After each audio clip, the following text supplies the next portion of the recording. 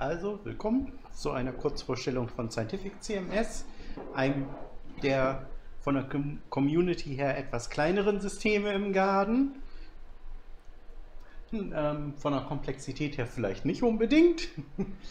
ähm, ja. Was haben wir als zentrale Konzepte?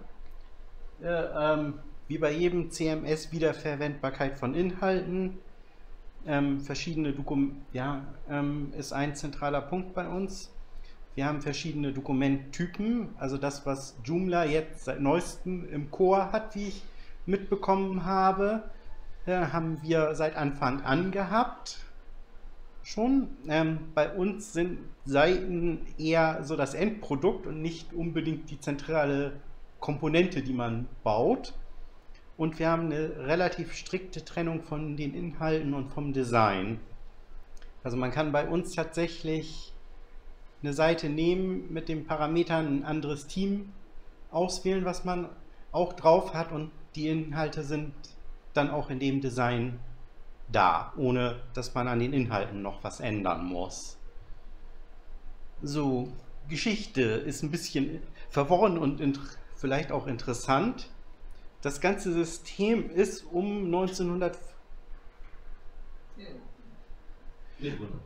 1995, also die Basis, auf die, der wir aufgesetzt haben, ist um 1995 ich bei der Firma Ars Digita, das ist eine Ausgründung des berühmten MIT, entstanden, war ursprünglich in Tickel, also TCL, falls jemandem die Sprache was sagt, geschrieben es wurde dann 2001 durch Ars Digita nach Java portiert.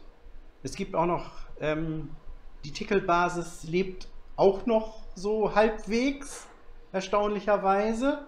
Nennt sich jetzt OpenACS. Ähm, wurde, dann wurde Ars Digita um 2002 auf dem Höhepunkt der Dotcom-Blase übernommen durch Red Hat.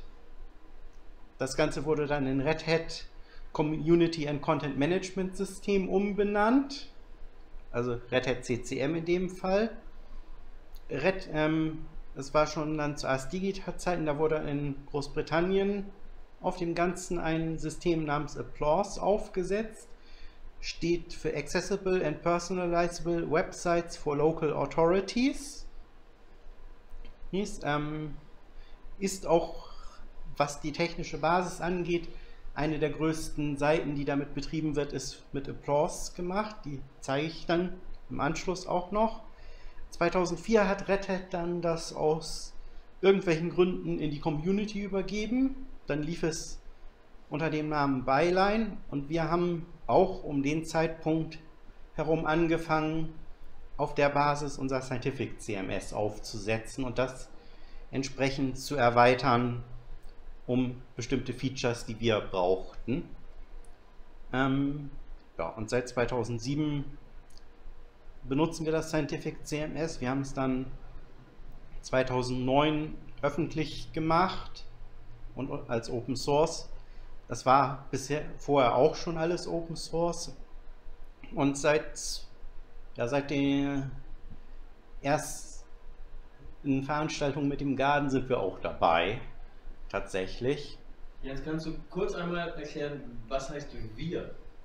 Kannst du euch mal eben ähm, also die sagen, wer, wer wir ist? Die Gruppe hauptsächlich, die das System in Bremen betreut, das ist unter anderem ich, der Initiator von dem Projekt und im Moment noch ein paar studentische Hilfskräfte und eben zur Community zählen dann natürlich auch unsere ganzen Anwender in den einzelnen Instituten.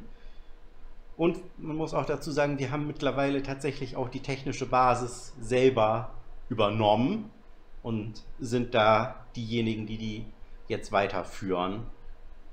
So, technisch das Ganze basiert auf Java. Wir benutzen im Moment XSL, um unser HTML zu generieren. Sprich, unser das Scientific CMS generiert erstmal nur XML aus den Inhalten und den Definitionen, was dargestellt werden soll und das Ganze wird dann per XSL in HTML umgewandelt. Als Datenbanken unterstützen wir nur ähm, im Moment PostgreSQL und Oracle. Hat historische Gründe, weil einige Features benutzt werden, die von MySQL nicht zur Verfügung gestellt werden. Ähm, derzeit arbeiten wir daran, das Ganze auf Java Enterprise Edition 7 zu bringen. Unter anderem tauschen wir gerade den Persistenzlayer, also die Ansteuerung der Datenbank, aus gegen GPA, benutzen dann noch Context ähm, Dependency Injection und die Surflet API 3.0 und halt die anderen Dinge, die dazu zu Java Enterprise Edition hm, dazugehören. Das Ganze macht das Leben dann für den Entwickler etwas einfacher und wir werden dadurch viele Baustellen in dem System los, weil das dann einfach fertige Dinge sind, die wir nutzen können. Ähnlich wie Drupal das bei seiner Umstellung auf Drupal 8 gemacht hat mit den Symfony Components. So, die nächste Folie wäre eigentlich schon Fragen, aber ja, weil eigentlich sollte ja noch jemand anders sein System noch auch vorstellen daher switche ich jetzt einfach mal auf den, zeige ich jetzt einfach noch mal ein paar Referenzseiten von uns. Wenn ich meine Maus finde. Obwohl, die ist glaube ich noch. So, da ist sie. So. Ähm, fangen mal einfach mit dem Institut für Arbeit und Wirtschaft in Bremen an.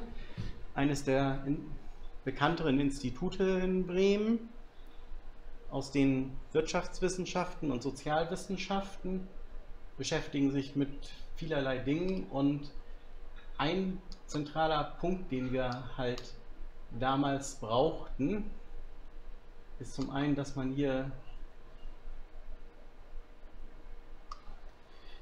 diese schönen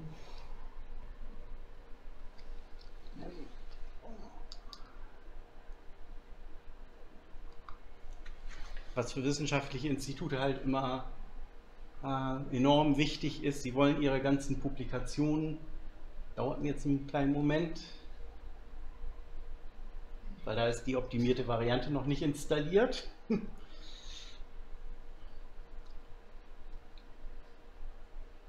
So. Es geht dann halt um diese schönen Listen mit den ganzen Publikationen, die von den Leuten in dem Institut geschrieben werden. Die müssen aber auch alle dann in einem bestimmten Format hier auftauchen. Also es gibt halt so, wer studiert hat, weiß das noch, ähm, so schöne Zitierregeln und bestimmte Vorschriften, wie diese Referenzen aufgebaut sein müssen. Und das einzuhalten ist sehr schwierig, wenn man auf Seiten von wissenschaftlichen Instituten guckt, die solche Listen nur als statisches HTML oder halt als normale Seite pflegen und das manuell eingeben, dann ist das für gewöhnlich Wildwuchs, was da auftaucht. Ähm, ja, was dann auch noch immer sehr wichtig ist, für die die Finanzierung von solchen Instituten bzw. den Mitarbeitern läuft eigentlich immer über Forschungsprojekte.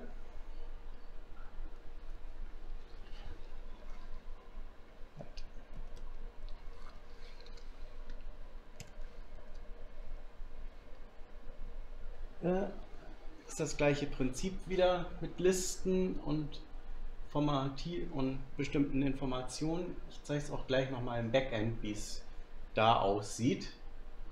Das Ganze. Ähm, ja. So, was eben auch wichtig ist, man hat dann natürlich, ähm, die ganzen Wissenschaftler sind dann teilweise oder möchten alle auch eine persönliche Seite haben. Noch, da sollen dann auch ihre eigenen Publikationen und ähnliches drauf sein. In dem Fall zum einen kann man mit unserem System relativ einfach dann mit bestehenden Informationen auch so Mini-Seiten bauen für irgendwelche speziellen Anlässe Oder wenn man relativ bekannte Leute hat, die ein bisschen aktiver sind, auch in den Medien, dann kann man das auch machen.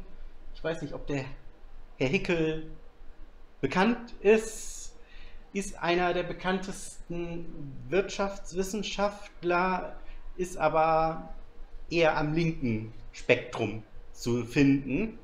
Also im Prinzip so das Gegenteil von dem Herrn Sinn, den man ja noch kennt, eventuell. Ähm, der veröffentlicht halt ähm, relativ häufig irgendwelche Kommentare zur aktuellen Lage, die er auf seiner Seite haben will und ähnliches. Wird mit dem gleichen System gepflegt, ist sogar die gleiche Installation wie sein ehemaliges Institut. Geht, ähm, ja. So, normalerweise machen wir die persönlichen Profile aber über ein spezielles Modul. Das ist jetzt anderes Institut, gleiche Installation. Einer der Wissenschaftler davon. Startseite von seinem Profil hat so ein paar persönliche Informationen, Sprechzeiten, etc. Und Moment. Und ja gut, Lebenslauf, die haben sie jetzt als CV bezeichnet. Ist vielleicht nicht unbedingt für jeden verständlich, aber im wissenschaftlichen Umfeld ist die Abkürzung verständlich, von daher. Und dann wollen Sie natürlich Ihre Publikationen haben, Ihre persönlichen. So möchte man aber natürlich nicht doppelt eingeben und da ja die Information, dass diese Publikation halt ja, der Präsenter ist ein bisschen empfindlich, die, der Mausersatz. Ähm, die Information ist ja eigentlich schon da, dass das von diesem Menschen geschrieben wurde. Das ist in der Datenbank bei uns auch direkt hinterlegt als Verknüpfung. Also wir haben die Personen als eigenständigen Datensatz drin und die Publikationen werden dann dazu gelinkt. Und dadurch, dass ich weiß, dass das jetzt das Profil von dem Professor Hove ist, kommen die Publikationen von ihm hier auch vollkommen automatisch drauf. Gleiches gilt für die Projekte. Das ist das gleiche Prinzip. Alle Projekte, wo er mitgewirkt hat in irgendeiner Form, kommen hier völlig automatisch dann rauf. Hm? Ähm, eine Frage, Jens. Ist es äh, ein Problem, wenn jetzt einer der Mitarbeiter auf einmal äh, das Institut wechselt? Ich sag mal, der wechselt ja bestimmt auch äh, das Gebäude, der bekommt ja. eine neue Telefonnummer oder eigentlich ist es ein Problem, muss dann hinterher im, im, in der Datenbank äh, oder im System äh, ganz viel angefasst werden? Nein, du fasst ein, den einen Kontaktdatensatz von diesem Menschen an und überall, wo der benutzt wird, sind die Änderungen dann sofort da. Ah. Und was wir auch drin haben, wichtig für die weiblichen Mitarbeiterinnen, wir haben auch die Möglichkeit, einen Personendatensatz mit einem anderen zu verknüpfen als Alias wenn die Damen zum Beispiel heiraten oder die Herren und ihren Namen ändern, mhm. kann man das auch verlinken und dann werden die Publikationen mit beiden Namen für die gleiche Person auch ausgegeben. Ah, okay. Natürlich übliches Problem halt, sind wir sehr schnell reingelaufen, als wir das gemacht, programmiert haben. So, ja, was kann ich noch zeigen? Ich zeige jetzt auch noch mal eben. Es ist jetzt eine Seite mit Applause, das London Borough of Camden, ist ein Stadtteil von London. Man, ähm, einer der größten auch. Ähm, die arbeiten mit der gleichen technischen Basis halt mit dem Applause. Da sind rund 100 Autoren tätig, die Inhalte in die Seite einstellen. Ähm, dürften an die 10.000 Inhaltsitems sein, die da rumfliegen. Können sogar mehr sein. ähm, ja. Die Seite ist auch, hat auch sehr tiefe Menüs. Ähm, wir haben halt, das sieht man hier, gut, Council Democracy kann man sich vielleicht noch vorstellen, ist halt der Stadtrat und, und über Wahlen und Co. eben für ihre Geschäfte, die da sind, ähm, die städtischen Bibliotheken hier und so weiter. Dann vermieten die Boroughs in London auch halt selber Wohnraum, also die haben eigene, den gehören Wohnungen. Ähm, unter anderem war auch der Greenfeld Tower in Camden, der abgebrannte. ähm, ja. Und so weiter. Also da sind sehr viele Informationen drin. Diesen Relaunch haben wir auch mitbegleitet von dieser Seite. Also die Implementierung von diesem Design ist tatsächlich von uns gemacht worden. Ähm, ja. Ich kann noch mal eben runterscrollen. Der Designentwurf ist nicht von uns. Also hier kommt dann so ein toller Riesenslider an Bildern. Ähm, und dann kommen hier noch so Linkboxen mit weiterem Kram. Wie gesagt, ist, wir haben versucht, sie davon abzubringen, auch ein bisschen von dem Design, aber sie wollten es so haben und haben gut bezahlt. Von daher habe ich kein Problem damit. Ähm, ja. Ähm, was sehr lustig, interessant ist, in Großbritannien ist das mit den Gebärdensprachsachen noch etwas strenger als hier in Deutschland. Wie man hier oben sieht, ich habe es noch nie ausprobiert, aber wesentliche Inhalte sind tatsächlich in Gebärdensprache da verfügbar und müssen es, soweit ich weiß, sogar sein. Also das ist jetzt ohne Gewehr, aber das war denen damals sehr wichtig, dass dieser Link da oben reinkommt. Und ja, so, ähm, jetzt müsstest du die Kamera wahrscheinlich etwas postieren, weil ich jetzt im Backend was zeigen will und dafür müsste ich mich doch setzen. Das wäre etwas angenehmer. So, ähm, so, ähm, gehen einfach mal zu den Kollegen hier vom ITB. Ähm, weil ich gehe noch mal eben kurz auf die Startseite von denen. So, das ITB, das ist das Institut für Technik und Bildung in Bremen, ist eines der größten Forschungsinstitute weltweit, die zu Fragen der Berufsbildung forschen, insbesondere in gewerblichen Berufen. Ähm. Nur am Rande. Ähm, so. Und wenn man dann sich ins Backend begibt, was wir halt zum einen auch noch haben, wir haben, wir haben sogenannte Content Sections, kann man sich so ähnlich wie Laufwerke unter Windows vorstellen. Das sind dann abgeschlossene Einheiten, wo man ganz andere Rechte vergeben kann. Also wer nur Rechte auf eine bestimmte von diesen Sections hat, kommt die, sieht die anderen nicht mal. Äh, ist sehr praktisch, wenn man verschiedenste Inhalte halt drin hat ähm, oder auch sehr viele Seiten damit pflegt. Also wir haben jetzt gerade ein Projekt mit Gewerkschaftsgruppen in Vorbereitung, wo dann jede Regionalgruppe ihre eigene Seite haben soll. Und die anderen Regionalgruppen sollen ja nicht unbedingt dann irgendwo anders rein. So, wenn man dann ähm, die Publikationen Datensätze liegen hier jetzt alle in der eigenen Section, hat den Hintergrund, dass eigentlich mal angedacht war, dass die Wissenschaftler diese Daten selber pflegen. Sprich, jeder gibt seine eigenen Publikationen ein. Hat nicht funktioniert. Nein, funktioniert nicht. Das machen dann die Sekretärinnen der jeweiligen Arbeitsgruppen, wenn überhaupt. Meistens landet es bei einer Person in einem in dem Institut.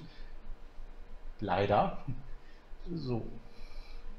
Das ist aber halt eine organisatorische Frage. So, dann wir haben es hier jetzt, und man hat dann in jeder Content-Section halt so eine Ordnerstruktur nochmal, wo man die ganzen Inhalte sortiert ablegen kann.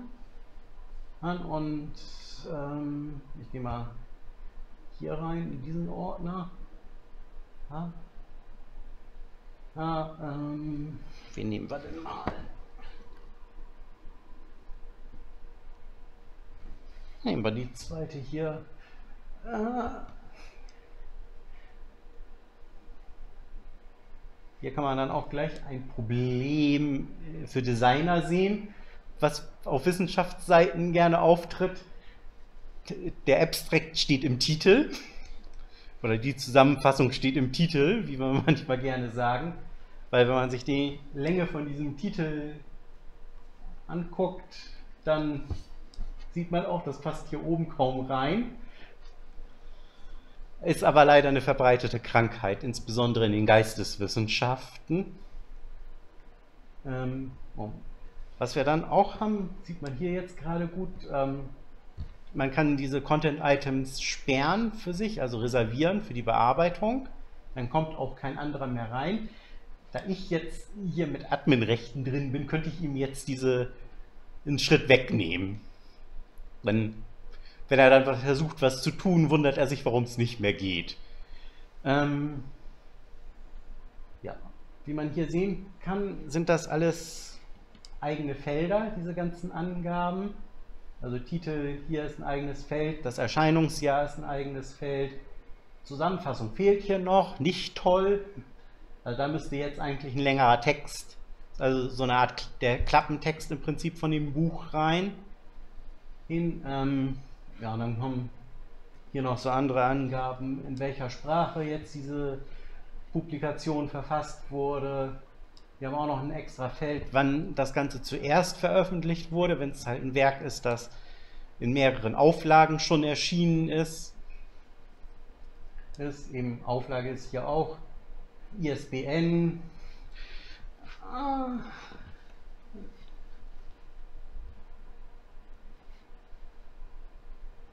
Und ähm, ja, das, warum das Feld hier ist, weiß, das fragt sich fragen sich dann Leute, die nicht aus dem Wissenschaftsbereich kommen, möglicherweise.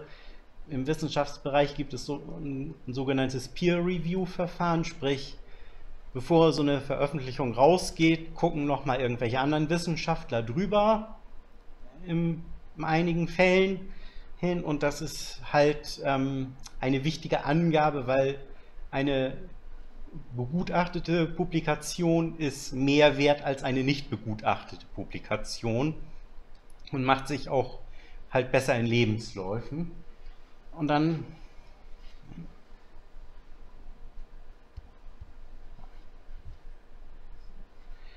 Dann kommen hier halt die Autoren, die zugeordnet werden. Das sind dann halt eigene Datensätze, die werden hier nur zugeordnet. Aufbau ist im Prinzip genauso wieder, einzelne Felder, die man bearbeitet. Teil, zum größten Teil auch sehr beschränkt, also wir haben nur sehr wenige Felder, wo, man, wo überhaupt HTML-Eingaben erlaubt sind. Und, ähm, ja. Und dann kann man noch den Verlag angeben, ist auch wieder ein eigener Datensatz. So, das war jetzt der Spezialfall Publikation zeige ich jetzt auch noch mal, wie ein ganz normaler Inhalt aussieht. Zum Beispiel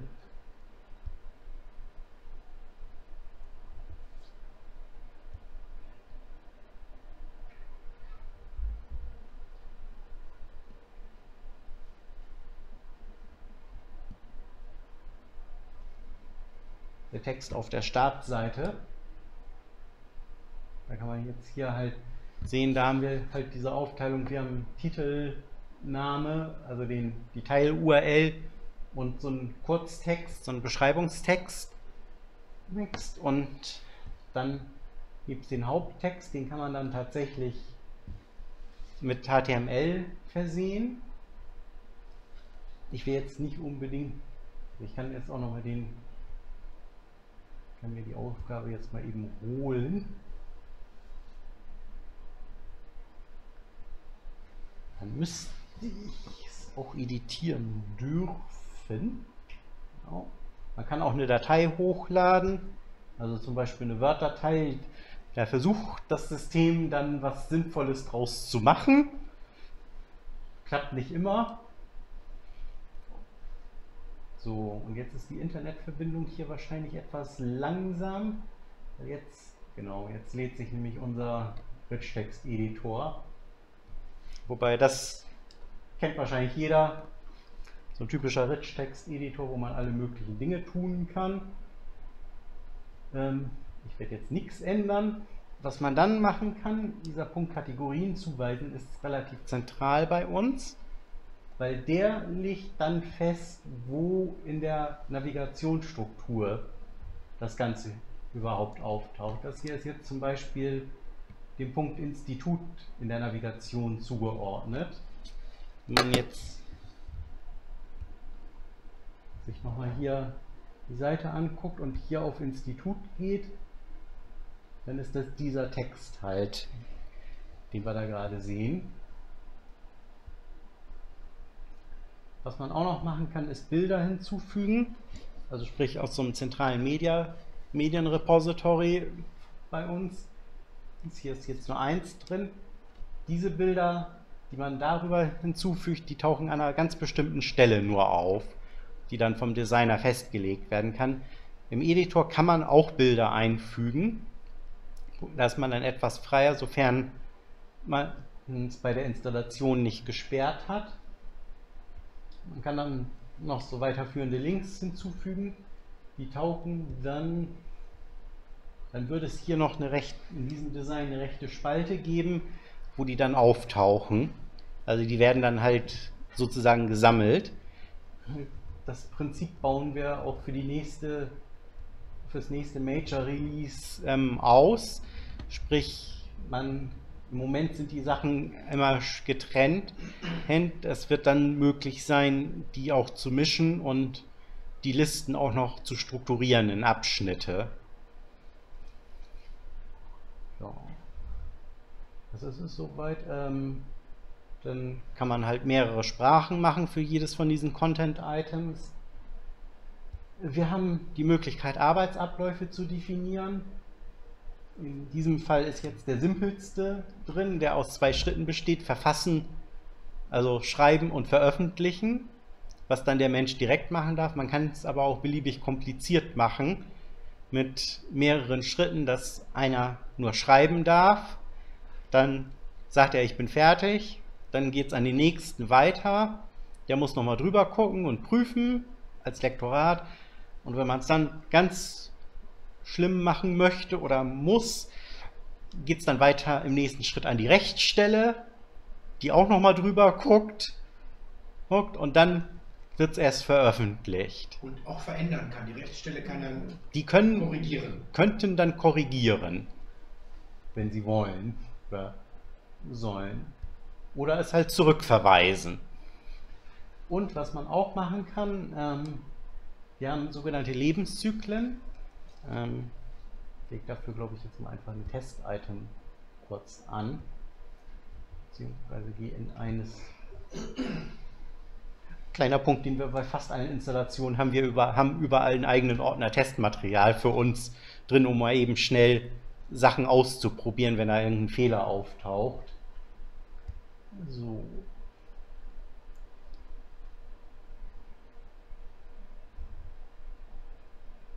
kann man hier auch sehen, dass das gegenwärtig nicht publiziert ist. Denn ich muss hier erstmal diesen einen Schritt abschließen. Ich kann da auch noch einen Kommentar, wenn ich das fertig habe. Und dann kann ich nämlich hier steuern, dass es nicht sofort veröffentlicht werden soll. Ich kann auch noch sagen, wann es wieder depubliziert werden soll. In diesem Fall. Das kann man bei unserem System auch machen. Ja, könnte ich noch zeigen? Gut, Rollenverwaltung, Bilder können wir verwalten. Im nächsten Major Release wird es auch ein Medienmanager sein, der Videos und alles, alles Mögliche machen kann. Ähm, über diesen Kategorien-Tab hier kann man die Kategorien verwalten. Das ist bei uns im Prinzip genau umgekehrt wie bei Joomla. Die Kategorien sind bei uns die Navigationsstruktur. ähm, bei Joomla ist es ja die Ablage für die Inhalte. Ähm, ja. Da kann man dann auch bearbeiten, Sprachen. Man kann auch nicht sichtbare Kategorien haben. Benutzen wir teilweise für bestimmte Features, wenn Zum Beispiel hat Kempten die Möglichkeit, die haben eine unsichtbare Kategorie, wo sie Meldungen reinlegen können, so Notfallmeldungen. Die tauchen dann automatisch auf der Startseite ne, auf in einer roten Box, sodass man da bestimmte Features noch machen kann. Oder eben halt noch spezielle Meldungen. Das hatten wir vor kurzem, wo ein Professor gestorben war von einem Institut, da sollte da halt eine Spezialmeldung auftauchen. Das kann man dann darüber noch steuern. Ja. Sortieren kann man das. Ähm, was man auch machen kann, man kann in jeder Content-Section die Dokumenttypen, die zur Verfügung stehen, beschränken. Hier sind jetzt sehr viele verfügbar. Man kann das auch stark beschränken, sodass nur bestimmte in dieser Content-Section dann benutzt werden können und eben halt nur für, die, für bestimmte User-Gruppen dann zugänglich sind. Also verstehe ich das richtig, Dokumenttyp wäre jetzt zum Beispiel das Profil eines äh, Mitarbeiters genau. oder eine Publikation. Genau, oder also, siehst du hier ja auch ja. Also, normal, so ein kleiner Artikel, ja.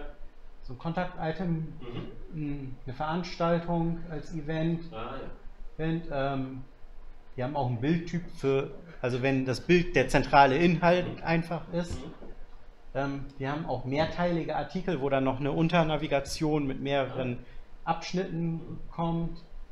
Und dann kommen hier unten halt die ganzen Publikationstypen. Die sind, also das war eine relativ lange Diskussionsveranstaltung ähm, Diskussion, welche Typen wir da machen, welche Felder die haben sollen. Da haben wir uns dann auch so Produkte wie BibTech, EndNote und ähnliches angeguckt, wie die das machen. Und dann eben unsere Zusammenstellung der Typen und Felder darauf basierend entwickelt. Kann man auch erweitern, noch diese Typen. Also wir haben auch für ein weiteres Projekt, das habe ich noch ganz vergessen, das kann man auch mal zeigen. Eine kleine Spezialanwendung für die Publikationstypen. Wir haben nämlich auch noch Spezialtypen für Theaterstücke und Filme als Publikationen für die gebaut. Ähm, das ist ein Forschungsprojekt, die untersuchen das Verhältnis von wie Wissenschaft in der Literatur dargestellt wird und haben auch eine mittlerweile relativ große Datenbank an Publikationen aufgetaucht, die jetzt keine wissenschaftlichen Publikationen sind, ist aber exakt die gleiche Technik dahinter. Nur mit noch ein paar Zusatztypen, wobei das meiste haben sie tatsächlich mit den bereits bestehenden Typen erschlagen können. Und da kann man dann, haben wir noch so ein Feature eingebaut, dass man noch verschiedenste Keywords für die Filterung machen kann also was da genau besprochen wird oder dargestellt wird, ob da jetzt irgendwie Chemie vorkommt in der äh, Kurzgeschichte oder in dem Gedicht oder Mikrobiologie oder was auch immer. Ja, ähm, wobei diese Keywords auch wieder ähm, Kategorien sind im Hintergrund. Dieses Kategoriensystem, was wir in dem System haben, ist universell einsetzbar für solche Dinge. Äh, und die, dass man die Navigation daraus baut, ist nur eine Anwendung davon. Ja, das ist es eigentlich soweit. Und wir haben die 45 Minuten auch rumgekriegt. Fast. Das heißt, wir haben jetzt noch ein paar Minuten Zeit für Fragen. Ähm, also ich überlege gerade, ob wir nicht doch so ein bisschen Dokumenttyp in Joomla haben. Habt ihr? Wir haben, hm? Habt ihr. Haben wir, ne? Bei den das diese, zum Beispiel. Dieses ehemalige, wobei, ähm, was wir hier mit diesen Dokumenttypen machen kann, kann man wahrscheinlich, ich habe es mir jetzt noch nicht so genau angeguckt, mit diesem Content Construction Kit, beziehungsweise, das ist ja mittlerweile, wenn ich das richtig mitbekommen habe, mit in den Core gewandert, die Funktionalität. Damit, ja. ja, damit könnte man was ähnliches machen, mhm. Was wir halt, Mhm. nur bei uns sind diese Dokumenttypen halt tatsächlich richtige Objekte in der, Mhm. im Programmiersinn und haben auch jeweils eine eigene Tabelle in der Datenbank. Mhm. Ja, aber also bei Joomla ist es ähnlich. Ich sag mal jetzt zum Beispiel die Kontakte zum Mhm. Beispiel bei Joomla, was ja noch eine eigene Komponente ist. Äh, allerdings werden die Kontakte auch halt über diese Kategoriestruktur Struktur Mhm. verwaltet äh, in der Datenbank. Ja. Also ich habe eben halt meine Kategorien und da Mhm. liegen jetzt eben halt nicht Artikel, sondern Kontakte drin. Ja, Ja. genau. Das ist auch eine Sache, die wir gerade machen. Mhm. Wir sind ähm, diese, im Moment haben wir ja nur Bilder als wiederverwendbare Assets, also keine Inhaltsobjekte, sondern halt so Hilfsobjekte, sage ich jetzt mal. Das werden wir im nächsten Major Release sehr stark erweitern. Und dann kann man diese Sachen auch in einer Ordnerstruktur ablegen. Im Moment liegen die Bilder nämlich bei uns auch relativ unsortiert in der Datenbank, was nicht ganz so effizient ist. Jetzt kannst du ein paar Stichworte sagen. Google, SEO, ähm, äh, Mobile Design. Ähm, also Google-Trefferquote stehen dieser unsere Seiten, wenn man nach den entsprechenden Begriffen sucht, immer relativ weit oben. Hängt natürlich auch von den Inhalten ab, die die Leute reinstellen. Ähm, wenn du nach bestimmten Begriffen mit Wirtschaft, Banken zum Beispiel suchst, taucht Rudolf Hickels Seite mit als erstes auf. Ja, klar. Mhm. Aber so schlecht ist es nicht. Ähm, sicherheitstechnisch könnte ich auch noch was sagen. Ja. Diese Applause-Seite, äh, also Camden, läuft seit zwölf Jahren mit dem System. Also seit Anfang an und ist nie gehackt worden. Und wir sehen auch bei unseren Seiten massivste Angriffsversuche. Also da läuft eigentlich jeden Tag irgendwas durch, dass da irgendwer versucht, mit den üblichen WordPress oder Joomla oder Drupal-Adressen mh, irgendwie reinzukommen. Also auch automatisierte Hacks. Ja, ja, automatisiert. Und mittlerweile haben wir auch ähm, mit Zabbix Monitoring machen wir über die Server und der schickt, wenn irgendwelche bestimmten Fehlermeldungen im Log kommen, auch jetzt Mails raus. Und ab und zu, wenn wirklich mal so ein richtiger Botlauf kommt, ähm, der mit irgendwelchen ganz komischen URLs versucht zuzugreifen, weil da zum Beispiel irgendwie SQL schon direkt mit drin steht, eh, dann führt das natürlich zu einer Fehlermeldung, weil unser System kann so nichts wirklich mit der URL anfangen. Dann kommen da plötzlich mal so 30 Mails pro Stunde an mit Fehlermeldungen. Mhm. Also vom Prinzip auch Sicherheit dadurch, dass das System gar nicht so bekannt ist und Ja. äh, gar nicht so Ja, aber eben auch programmiertechnisch relativ gut Gut, aufgebaut ist. Ähm, wie gesagt, das war mal eine Ausgründung von MIT, die Firma. Und man merkt das auch an der Codebasis, auch wenn die jetzt schon über zehn Jahre alt ist an einigen Stellen, dass die doch für, auch für damalige Verhältnisse relativ sauberen Java-Code geschrieben haben. Haben, was eben halt an der Stelle auch einfach hilft und eben auch diese ganzen Prinzipien wie zum Beispiel SQL nicht mit String-Konkatenation zusammenzubauen, sondern über Parameter setzen und solche Sachen hm, überall eingehalten haben. Ähm, und was Mobilfreundlichkeit angeht, das hängt natürlich sehr stark von der Temp also vom Team ab. ab ähm, und da das relativ unabhängig ist, ist, kann man das relativ gut auch machen. All die ganzen Seiten, die hier so sind, sind mittlerweile alle responsive. Ich kann es ja auch mal eben zeigen, das kann man hier mal gut machen, wie du siehst. Ja, das sich. Genau, ähm, und was David gerade erzählt hatte mit den EM-Sachen, also dass man irgendwo eine Basisschriftgröße macht und dann alle anderen Maße mit EM macht, machen, machen wir auch schon seit Jahren.